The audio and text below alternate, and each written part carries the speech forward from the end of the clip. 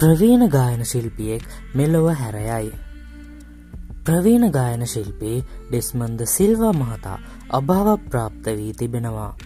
ජනප්‍රිය ගායන ශිල්පී චිට්‍රාල් සෝමපාල මහතා ඒ පිළිබඳව දන්වමින් සිය නිල ෆේස්බුක් කිනුමේ විසෙස සටහනක්ද එක් කර තිබෙනවා.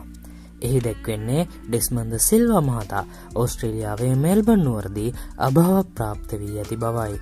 ඩෙස්මන්ද සිල්වා මහතා මිය යන විට හැත්තෑ අටවන වයේ පසු වුණා. අපි ඒ මහතාට නිවන්සුවය ප්‍රාර්ථනා කරමු. ඔබගේ අදහස් කමෙන්ට් තීරුවේ දක්වන්න අමතක කරන්න එපා. ඔබ සැමට සුබ දවසක්.